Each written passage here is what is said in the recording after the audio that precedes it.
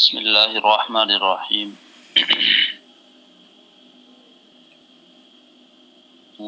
वक़दाद रदी अल्लाह तन्नहु समिअ रसूल अल्लाह सल्लल्लाहु अलैहि वसल्लम यक़ूल ला यबक़ा अला ज़ाहिरिल अर्द बैतु मदर वला वबर इल्ला अदखलहु अल्लाहु कलिमतल इस्लाम बिइज़्ज़ि अज़ीज़ व ज़िल्लि ज़लील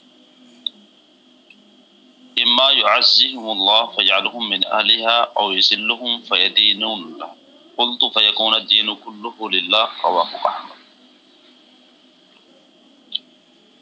हदीस पाक के रावी हज़रत मकदाद रदी अल्लाह हैं और ये भी अजिल्ला साहबा में से कदीमुल इस्लाम हैं जू हिजरतें हबशा की तरफ़ हिजरत हुई थी तो उसमें भी ये शरीक थे, और फिर मदीना मुनवरा की तरफ़ हिजरत हुई तो उसमें भी उन्होंने हिजरत फरमाई तो जो हिजरत है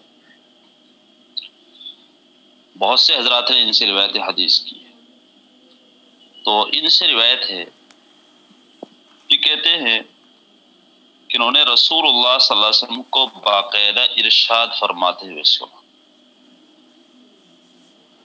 कि रोए ज़मीन पर कोई घर चाहे वो पक्का हो या कच्चा हो।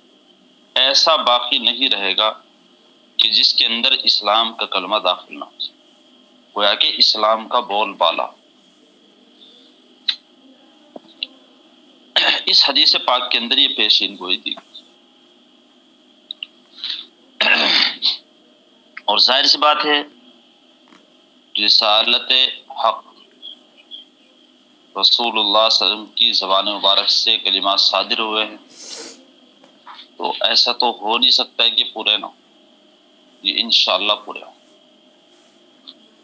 अब इस्लाम का बोल बाला तो दरअसल किसी भी चीज़ के मुकम्मल और कामिल होने की दो शक्ल होती है। एक तो कैफियत के एतबार से। और एक कमियत के एतबार से। ठीक? तो कैफियत के एतबार से तो ये पेशीन गोई साबित हो चुकी। इस्लाम कामिल और मुकम्मल हो चुका।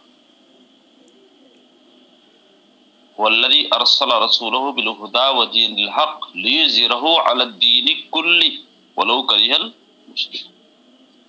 मुशरिकीन और काफिरीन के पेट में चाहे कितना दर्द हो अल्लाह तबारक व ताला इस दीन को गालिब करके रहे। पूरे से, तलबा से। वल्लाहु मुतिम्म नूरी, वलो करिहल। अल्लाह अपने नूर को मुकम्मल करके रहे। नूर से मुराद दीन इस्लाम। तो देखिए, इब्तदाई हालात में क्या मनासिर थे कि ईमान लाना गोया के अपने आप को मसाइब के हवाले करना। था बस कलमा पढ़ना समझो, अपनी जान को हलाकत में डालना।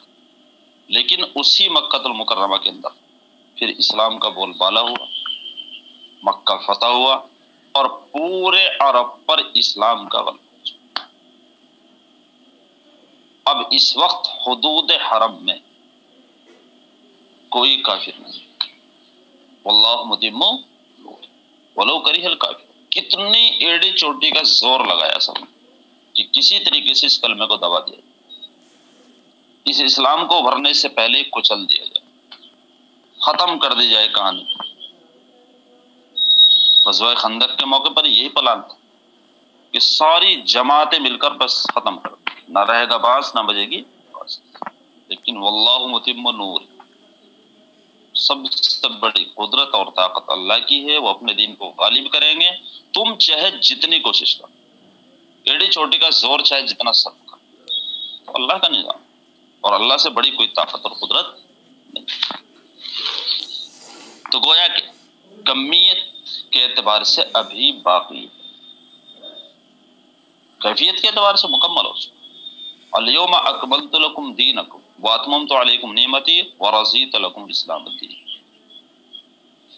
अब कमियत के एतबार से, क्या मतलब? रोए ज़मीन पर कोई घर ऐसा नहीं रहेगा जिसमें कलम इस्लाम दाखिल ना हो जाए। ये पेशीन को ये भी बाकी और ये इंशाल्लाह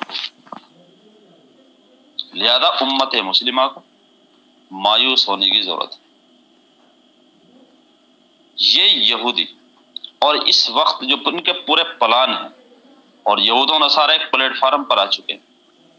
पूरी दुनिया के अंदर यहूदी जहन काम कर रहा है, और मुशरकिन इनका पूरा साथ दे रहे हैं।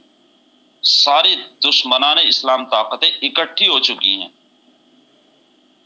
ये कितना ही ज़ोर लगा ले, इस इस्लाम को खत्म नहीं कर सकते। इनकी माँ ने दूध नहीं पिला रखा। हाँ कोशिश में कोई कसम नहीं। ऐसे खतरनाक प्लानिंग है अल अमान वल सुनना दज्जाल और बड़े बड़े शैतान और बड़े बड़े फितने ज़बरदस्त तरीके से रूनमा होने के लिए दर अरे बात सुन मागी दरअसल बात क्या है? कि इस्लाम का गलबा तो होना है तो इनशाला यह ये तो पेशीन गोई है, ठीक? इससे पहले भी बड़े बड़े हालात है। अगर इस्लाम को खत्म होना होता और मुसलमानों को खत्म होना होता तो हमले तातारी में खत्म हो जाता। उससे बड़ा फितना। फिर उससे बड़ा फितना जो सबसे बढ़कर है वो दज्जाल का फितना। लेकिन सबसे बड़ी ताकत और कुदरत किसकी है? और ये निज़ाम अल्लाह का है। तो गलबा तो होना है यार। ये तो पेशीन कोई अब मसला क्या है? चूँकि दुनिया के अंदर जुल्म इतना बढ़ चुका है, इतना बढ़ चुका कि अब अमन इस्लाम ही के ज़रिए कायम क्या अमन और अमन की फिजा इस्लाम के ज़रिए कायम क्योंकि इस्लाम ही के अंदर वो उसूल हैं कि जिसके अंदर पूरी इंसानियत का अमन है। दुनिया के किसी भी मज़हब के अंदर वो उसूल है। उनका जहन तामीरी नहीं, तखरीबी है। क्या है? तखरीबी। और इस्लाम का मिजाज तामीरी। हर हर इंसान, बल्कि हर हर मखलूक की हमदर्दी और उसको गोया के नफा पहुँचाने का जो निज़ाम है वो इस्लाम के अंदर इस वक्त का जो जहन क्या है? हलाक कर दिया जाए साढ़े सात अरब आबादी है दुनिया की, चार अरब को मारना अलामान वाला और उसकी पूरी तैयारियाँ है, पूरी प्लानिंग। तो मैं जो बताना चाह रहा हूँ आपको वो ये है कि इस्लाम का गलबा यकीनी, पेशीन गोई है।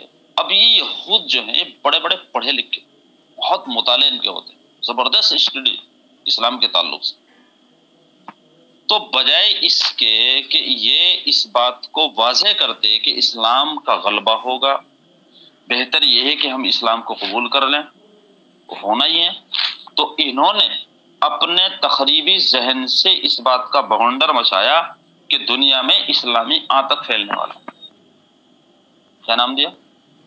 दुनिया में इस्लामी आतक फैलने वाला क्योंकि इस्लाम की और मुसलमानों की पूरी शबी इन्होंने आतंकवाद बना के पेश करा। अब जब इस्लामी आतंक फैलने वाला है, सबको अपनी इस्लाम में मिला लिया, हमनवा बना लिया। तो ऐसा करते हैं कि दुनिया से इस्लाम और मुसलमानों को ही खत्म कर। और उसके पूरे प्लानिंग बेवकूफ़ हो। जिस जात ने तुम्हें बनाया, जिस जात ने इस कायनात को बनाया, जो ज़मीन और आसमान का मालिक है, तुम उससे टक्कर ले। किसी की माँ ने दूध नहीं पिला रखा, अहले अरब ने पूरा ज़ोर सर्फ कर डाला था। लेकिन कुछ नहीं इस्लाम के पौधे में कुदरत ने लचक दी। जितना दबाओगे उतना तो इस्लाम का तो गलबा होना है। अब यह है कि किसका कितना हिस्सा होना इस कोशिश में किसका कितना हिस्सा है, बस इसकी दर्जात की वो लंबी। लिहाजा मायूस होने की कोई ज़रूरत नहीं है, और इनके जो प्लान हैं पूरे हों, ऐसा भी कुछ नहीं। तो जाल कितना बड़ा फितना होगा, लेकिन अल्लाह तबारक ताला उसको भी मदीनतुल मुनव्वरा, मक्कतुल मुकरमा के अंदर दाखिला नसीब नहीं चाहे वो जितनी बड़ी शक्ति का हो और फिर उसके बाद इनशाला सम्मा इनशाला हज़रत ईसा तशरीफ़ लाएँगे। इमाम मेहंदी का जहूर होगा, दज्जाल का कत्ल होगा।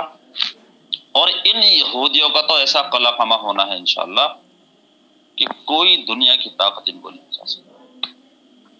अगर किसी पेड़ के पीछे भी छुपा हुआ होगा तो पेड़ कहेगा इधर है। इस वक्त तो इनके प्लान पूरे ये हैं कि दुनिया को खत्म कर दीजिए इसकी अक्सर आबादी को खत्म कर दिया जाए ये पूरे प्लान है। इसके बाद जो 5G की तैयारी हो रही है 5G लॉन्च करने की तो बड़ी खतरनाक चीज़ है अलामन चूँकि पूरी दुनिया की मीशत पर इस वक्त ये कब्जा कर चुका और जहनी एतबार से पूरी इंसानियत को समझो, अपना गुलाम बना चुका इसमें कोई दो रह नहीं महाराज यहाँ तक का मालूम पड़ रहा है कि जो वैक्सीन तैयार की जा रही है, इस वैक्सीन के ज़रिए नस्ल खुशी के प्रोग्राम उनके दिमागों को मुतासर करने का पूरा है। सारे जानवरों को खत्म कर देने का निज़ाम है दुनिया के अंदर और फिर अपने प्रोडक्ट लाने। तो जानवर ही खत्म हो जाएँगे तो अपना दूध चले। जानवर का दूध। अरे सिंह सब चीज़ें डुप्लीकेट लाकर। और जहरीली और केमिकल के ज़रिए गोया कि नस्ल कुशी के पूरे प्रोग्राम लेकिन इस कायनात को बनाने वाला, इस जहाँ को वजूद में लाने वाला, ज़मीन और आसमान का मालिक, हकीकी बादशाह, वो अल्लाह है। दरअसल अल्लाह को जहन्नम भी तो भरनी तो हुज्जत काम करनी। समझ रहे? अगर कल ये कहने लगे कि अल्लाह ताला आपने कैसे फैसला कर दिया? कोई हमने इतना बड़ा कांड थोड़ी करा? तो ये कांड करा रहे अल्लाह ताला वलोशीना लातीना कुल्ला नफ्सिन हुदाहा। वलाकिन हक्कल कौल मिन्नी लअमला अन्न जहन्नमा। मसलन कोई ये कहने लगे, भाई, इतने प्लानिंग ये कर रहे तो अल्लाह ताला क्यों नहीं रोक रहे ने क्यों रोकेगा अल्लाह ताला? ये तो नहीं इम्तिहान हाल है। इम्तिहान हाल में आपने, आप पेपर दे रहे हैं। आप फ़िल्म की स्टोरी लिख रहे हैं तो क्यों रोकेगा मुमताई तो रिज़ल्ट बताएगा, क्या लिखा है? जैसे कुछ ताज देख ले, इम्तिहान हाल में कि फ़िल्म की गाने लिख रहा है। देख के बस ठीक है, लिख ले बेटे। तो रिज़ल्ट बताएगा ना, क्या आना तेरा? फ़र्स्ट पोजिशन थोड़ा जाएगा। तो बहुत से जहन में बात आ जाती है, यार इतने बड़े बड़े खतरनाक ये प्लान कर रहे हैं तो अल्लाह ताला क्यों नहीं रोक रहे? क्यों रोकेंगे? आजमाइश के लिए दुनिया को बना रखा। इम्तिहान हाल में सब। जिसको जैसा पेपर करना करो। रिज़ल्ट बतलाएगा, किसी ने अच्छा पेपर किया है और किसी ने गलत पेपर किया तो अल्लाह ज़बरदस्ती नहीं रोक। अगर रोकेंगे, ज़बरदस्ती ईमान में दाखिल करेंगे तो ईमान इजतरारी होगा। और ईमान इजतरारी का फ़ायदा नहीं है, बल्कि ईमान इख्तियारी नफा वलोशीना लातीना कुल्ला नफसिन खुदा अगर हम चाहे एक सेकंड में पूरी इंसानियत को हिदायत दे दें, अल्लाह के लिए क्या मुश्किल है? कौन कहने की ज़रूरत है? लेकिन क्यों? ज़बरदस्ती का कोई मैटर नहीं। दीन में कोई ज़बरदस्ती नहीं। अल्लाह ने रास्ते वाजे फरमा दिए। हक का रास्ता, गलत रास्ता। अब इंसान को अपनी अकल से काम लेकर, अपनी समझ से काम लेकर, अल्लाह वालों के सोहबत में रहकर हक को समझना है और बातिल से बचना और जिसने बातिल की ही ठान न की है तो वही अल्लाह ताला पर क्या उसकी हो जिसने यही चाह लिया कि मुझे तो काम खराब ही करना है। जैसे खबीसों ने, यहूदियों ने, अरे भाई तुम्हारा तामीरी जहन हो तो एक बात है, ज़िंदगी का मकसद सिर्फ़ और सिर्फ़ ये है कि दुनिया से इस्लाम को खत्म करना। है बोला कोई बात? अरे तुम इस बात की कोशिश करते कि यहूदियत को लाना है हज़रत मूसा के निज़ाम को बर्पा करना है। चलो, एक बात थी। लेकिन मकसद क्या है? इस्लाम को खत्म करना। इस्लाम की जड़ें काटना। पूरी पूरी ज़िंदगी वक्फ कर देते हैं वो लोग। समझ रहे मामूली चीज़ नहीं कितनी मेहनत है उनकी। और किस जहन से वो काम ले रहे कितने बड़े बड़े जो है ना मसाइब बर्दाश्त करते हैं और कुर्बानियाँ देते हैं। हमें तो हवा भी नहीं उस चीज़ पूरी दुनिया पर ऐसे थोड़ी काबिज हो गए। उनकी मेहनतें, उनके जो ना मुजाहिदे इतने बड़े बड़े हैं कि आज देखो, पूरे ईसाई भी, समझो उनकी मिशनरी असल पूरा जहन यहूदी है मुट्ठी भर, लेकिन पूरी दुनिया की मीशत को अपने कब्जे में ले। तो ऐसे थोड़े ले लेकिन जहन तामीरी नहीं, बल्कि क्या है? तखरीबी। कि हमें अल्लाह की इस मखलूक को खत्म करना है। तो सर, बेवकूफ़ आदमी। खत्म तो तुम्हें भी होना है। तो तुमने क्यों ठान ली कि हमें खत्म करना? आबाद करो। जहन को तामीरी बनाओ। और इस्लाम का जहन तामीर। इस्लाम का जहन तकरीबी नहीं, बल्कि तामीर। बस क्या है कि उम्मत मुस्लिमा इस वक्त गफलत की क्या है? गफलत का शिकार है। जिस रोज ये गफलत से निकलेगी, बेदार होगी, फिर इंशाल्लाह इनसे काम लिया जाए समझ रहे? बस सबसे बड़ा मसला क्या है कि इस वक्त ये बहुत ज़्यादा और गफलत ऐसी है कि लठ बजना अल्लाह इसके बगैर ये गफलत से फूट नहीं उठा तो फिर क्या उपज जाएगा। जुत्ते लगेंगे तो बस देहाती जबान में कहना गणासा बजना है। तब ये जागेगी, ये उठेगी, फिर अल्लाह इससे काम लेंगे और फिर इस्लाम के अंदर दुनिया इस्लाम का वक्त। तो चूँकि कमियत के एतबार से यानी पूरी रोए ज़मीन पर इस्लाम का जो निज़ाम बनना है, वो भी बाकी है। और ये हदीस है बाकायदा। अरे बात सुनो, जब ये हदीस है, नबी करीम वसल्लम की जबान मुबारक से अल्फाज सादिर हो चुके तो किसने कहलवाया अल्लाह पाक ने। तो चूँकि कैफियत के एतबार से तो कामिल और मुकम्मल हो चुका है इस्लाम कमियत के एतबार से अभी बाकी वो इनशाला होगा। इसको कोई लाल रोक नहीं सकता। अरे बात सुना। तो इसलिए उम्मत मुस्लिमा के अफराद को इस बात की कोशिश करनी चाहिए कि इस इस्लाम के गलबे में हमारा कितना हिस्सा है। वो हर मुमकिन तरीके से इस बात की कोशिश कर ले कि किसी न किसी एतबार से मेरा ऐसा हिस्सा हो जाए कि वो इस्लाम के गलबे के लिए एक राह मर साथ ये नहीं कि मायूसी का शिकार होकर जाए कि बस सब तो भाई इस्लाम शायद खत्म हो जाएगा। सारी दुनिया मिल चुकी है। सारी इस्लाम दुश्मन ताकतें मिलकर मुसलमानों की सफ़ाई करने पर तुल चुकी है। शायद ये बचने वाला ऐसा कुछ नहीं है। अल्लाह से बढ़कर कोई नहीं हो सकता। हमारा ईमान अल्लाह की जात पर है। जैसा कैसा भरोसा उस अल्लाह पर है कि जिसने इतने बड़े आसमान को बगैर पिलर और सुकून के कायम उससे बड़ी ताकत किसी की? तो इस हदीस पाक के अंदर गोया कि यही पेशीन गोई है कि कोई घर नहीं अरे बात सुन लगी बिल्कुल निज़ाम बनना है। ये तय बात है। हज़रत मकदाद रज़ी अल्लाह से रिवायत है। उन्होंने बाकायदा रसूल के इर्शाद फरमाते हुए सुना, रुए ज़मीन पर। लाइब अर्थ तर्जुमा कर रहा हूँ मैं। रुए ज़मीन पर कोई घर बाकी नहीं रहेगा। भाई तो मदर वला वबा। मदर कहते हैं सिर्फ़ ढेले को। और वबर कहते हैं ऊन की, जो भेड़ की जो ऊन वगैरह होती है, खेमे वगैरह। तो मुराद क्या है? चाहे पक्के मकान हो और चाहे कच्चे चाहे आबादी हो और चाहे जंगल के अंदर डले हुए खेमे कोई घर ऐसा नहीं बचेगा जिसमें अल्लाह तबारक ताला इस कलमे को दाखिल नहीं फरमाएँगे। अजील, अज़ीज़ वजील चाहे तो इज़्ज़त के साथ, बतीब खातिर जो इस कलमे को कबूल करेंगे, बहुत अच्छी बात। और अगर नहीं, फिर लड़ बजना आना पड़ेगा। अरे बात सुन गए आना पड़ेगा। इस कलमे को कबूल करना पड़ेगा। जैसे बकतुल मुकर्रमा के अंदर इस्लाम का गलबा हुआ तो या तो वो मुसलमान हुए, या फिर उन्हें जिजिया अदा करके वहाँ पर रहना पड़ा। अरे बात सुन गई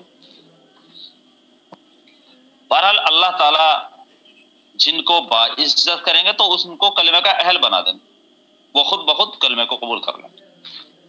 और जिनको जलील और रुसवा होना पड़ेगा तो वो उसके ताबे होकर रहेंगे। कलमे से हटकर, इस्लाम के निज़ाम से हटकर कोई माई का लाल ज़िंदा नहीं रहेगा। इसके निज़ाम से हटकर कोई ज़िंदगी नहीं गुजारेगा। ये निज़ाम बन तो मैंने कहा कि फिर तो दीन चारों तरफ़ हो जाए। पूरे रोए ज़मीन पर दीन ही दीन होगा कि हाँ तय है। पेशीन को ये बाकायदा इंशाल्लाह होना है। रवाहु अहमद।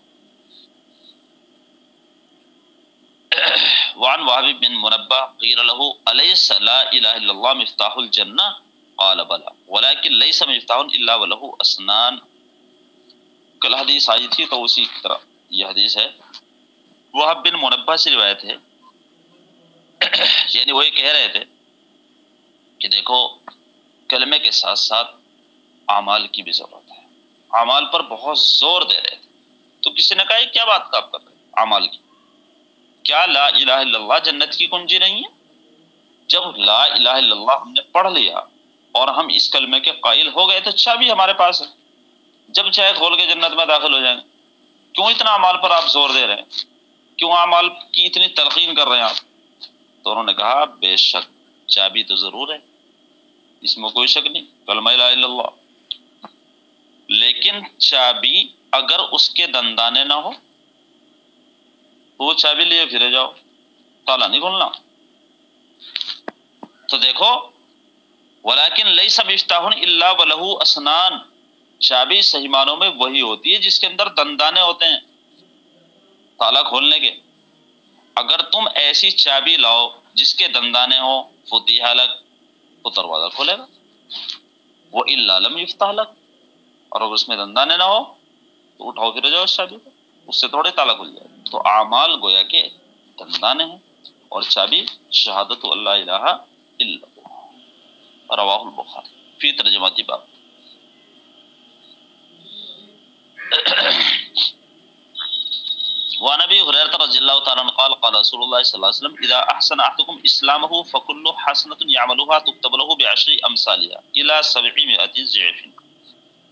वकुल्ल सैयदिन यामलुहा तुक्तबु बिमिसली हत्ता लकी अल्लाह मुत्तफ़ इस हदीस से पाक का माहसल ये है कि जब इस्लाम कामिल और मुकम्मल हो जाता है किसी का और कमाल के दर्जे तक पहुंच जाता है जिसकी निशानी इससे पहले आपके सामने बयान की गई तो फिर अल्लाह तबारक वाली की तरफ़ से निज़ाम है कि उसके हर नेक अमल पर दस गुना सवाब अल्लाह का। ये उसकी शान के और अगर वो कोई बुराई करता है तो बस एक गुना। सब। हालाँकि इंसाफ का तकाजा ये था कि भाई नेकी अंजाम दे तो दस नेकियों का सवाब। एक बुराई का इर्तिकाब करे तो दस बुराई का गुना। लेकिन अल्लाह की शान करीमी देखें कि नेकी एक करने पर तो दस नेकियों का सवाब।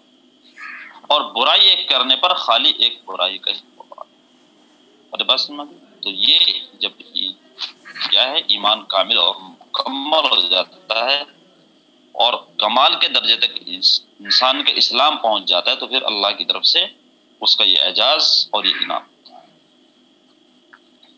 हज़रत अबू हुरैरा रज़ी अल्लाह तआला से कहते हैं, रसूलुल्लाह सल्लल्लाहु अलैहि वसल्लम इरशाद फरमाया तुम में से किसी का इस्लाम बेहतरीन हो जाए, उम्दा, आला दर्जे का तो अब हर नेकी पर जिसको वो अंजाम देता है, अल्लाह पाक उसका दस गुना, बल्कि सात सौ गुना तक सवाब लिखते हैं।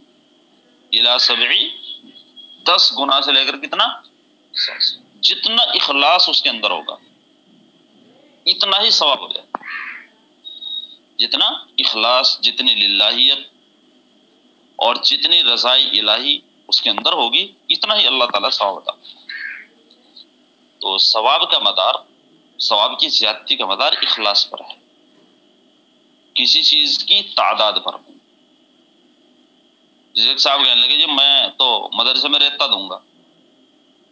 बहुत दूर मेरे को लगेगा, बहुत सवाब मिलेगा मैंने कहा बेवकूफ़। सवाब का मदार ज्यादती पर नहीं है, बल्कि क्या पर है? खुलूस और लिल्ला हदीस पाक के अंदर आता है कि अगर किसी ने रजाई इलाही की खातिर एक खजूर भी सदका कितने? एक खजूर। तो अल्लाह ताला बहुत पहाड़ के बराबर सा होता इखलास। और अगर खलूस ना हो तो वाकई आपके सामने आया कि पूरी ज़िंदगी अल्लाह के लिए पूरी ज़िंदगी कुर्बान की हत्या के शहीद हो गया, लेकिन नीयत सही नहीं थी रजा मकसूद नहीं थी तो औंदे मुँह घसीट करो, जान तो सवाब का मदार खुलूस पर है क्या पर नहीं है, कसरत पर। किसी चीज़ को बहुत ज़्यादा अंजाम देने पर नहीं है, बल्कि लिल्लाही। खुलूस पर। दो सौ नफिल पढ़े रजा इलाही मकसूद नहीं, मुँह पे फेंक के मार दी जाएगी। चलो उठा के ना, दो पढ़ो, इखलास से पढ़ो। इनशाला बेड़ा पारो समझ रहे तो दस गुना से लेकर सात सौ गुना तक। वकुल्ल सैयद यामलुहा तुक्ता मिसलिया और अगर वो कोई बुराई अंजाम देता है, किसी बुराई का इर्तिकाब करता है बशर तकाजे के पेश नज़र कोई बुराई उससे सरजद हो जाती है तो अल्लाह ताला बस एक गुना उसका गुना लेते हत्ता लकी अल्लाह, यहाँ तक कि अल्लाह से मुलाकात। यानी इंतकाल तक उसका फिर यही मामला रहता है मुत्तफकुन वामत रजी अल्लाह ताला इन रजुलन साला रसूलुल्लाह सल्लल्लाहु अलैहि वसल्लम मल ईमान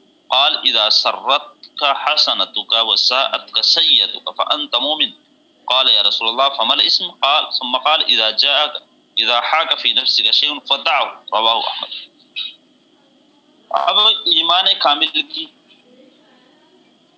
निशानी क्या है कि इंसान का दिल ईमान से सरसार उसकी क्या निशान? यानी नेकी की क्या पहचान है और बुराई की क्या पहचान गोया कि इसके अंदर ये बात बतलाई। तो देखो, आपने सुना होगा, मसल मशहूर है कि इंसान का दिल खुद मुफ्ती है। किसी से पूछने की ज़रूरत है।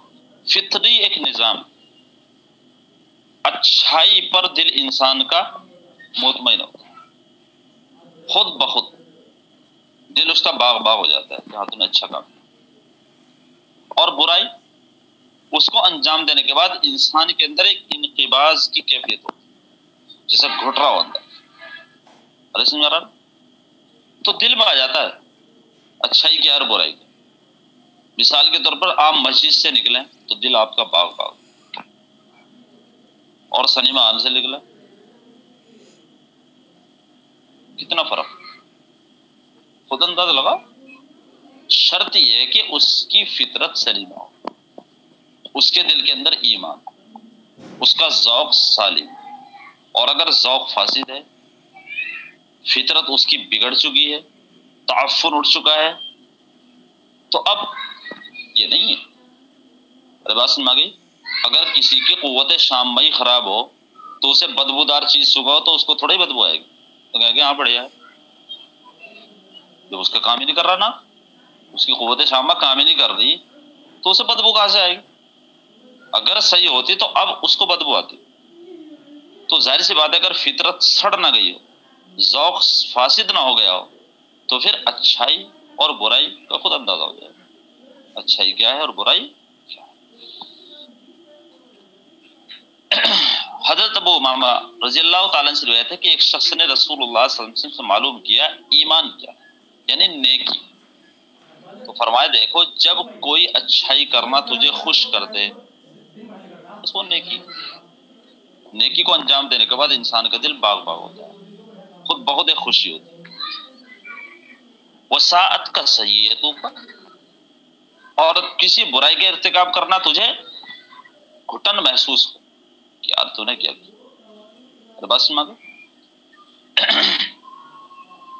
जैसे मसन इंसान औरत से मुलाकात को बहुत बड़ी मेराज समझता है। शायद दुनिया में इससे बड़ी कोई मेराज लेकिन इससे बदतर कोई अमल भी नहीं। उसकी दलील क्या है? कि इसको अंजाम देने के बाद इंसान पछतावे के अलावा कुछ नहीं करता जैसे इसकी माँ मर गई। अरे बात बहुत से हैं। अल्लाह हिफाजत फरमाए मुझसे नहीं करते। हाथ से जो है ना, मादे मदविया निकालते हैं। तो पहले तो अपना, जब मुश्तनी करते हैं तो फुल मज़े में और उसके बाद जहाँ काम हुआ, देखो कैसे उस पर पहाड़ सा डलेगा और कितना वो घुटन महसूस करेगा, भाई। क्या? अपने आप को कितनी मलामत करेगा। तो वही मामला है। दो पानी की बूंद जब तक अंदर है, बस। इंसान पछता गया, कुछ नहीं करता। तो बस समझिए दलील है इस बात की। ये तो अल्लाह पाक का एक निज़ाम है। नस्ल की अफजाइश के लिए अल्लाह ने एक जरा सी लज्जत उसमें रखी। अगर ऐसा ना होता तो जहर सी बात है नस्ल का निज़ाम ना होता अरे बात सुना भाई पाखाना और पेशाब की जगह उस पर इंसान राल चुहाए फिर रहा कितना बड़ा पागल है, बेवकूफ़। और कोई ऐसी जगह थोड़ा ही वो, कोई ऐसी चीज़ थोड़ा ही। अरे समझ रहा लेकिन बस अल्लाह को एक निज़ाम बनाना है दुनिया का। तो इस माना कर थोड़ी सी लज्जत अल्लाह ने वहाँ रखी। अब इसको ज़िंदगी की मेराज समझ लेना। और मकसूद असली, और सोच का महवर और मरकजी को समझना, कितना बड़ा पागल और बेवकूफ़ है। और आज दुनिया को, पूरी दुनिया को सेक्सी बना के रख दिया। बस। सब कुछ ही है ज़िंदगी का मकसद। एक चवन्नी कहीं खर्च करने को तैयार नहीं, और हकीम साहब से मामूली चैप राख भी इसके दे रहा। दो हज़ार देने को तैयार है। बस ऐसा नुस्खा ऐसा कुछ था। बेवकूफ़ आदमी। तो ज़िंदगी का मकसद इसको समझ लिया गया। ये कोई चीज़ नहीं। बहरहाल अच्छाई की तारीफ़ क्या है कि उसको करने के बाद इंसान का दिल फरहत हासिल और बुराई की पहचान क्या है? कि उसको अंजाम देने के बाद इंसान के दिल में घुटन महसूस अच्छी पहचान। किसी से पूछने की ज़रूरत आपका दिल खुद मुफ्ती है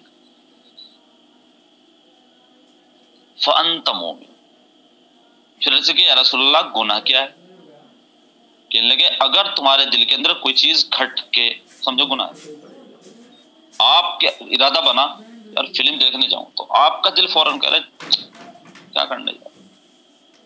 लेकिन फिर अरे चलना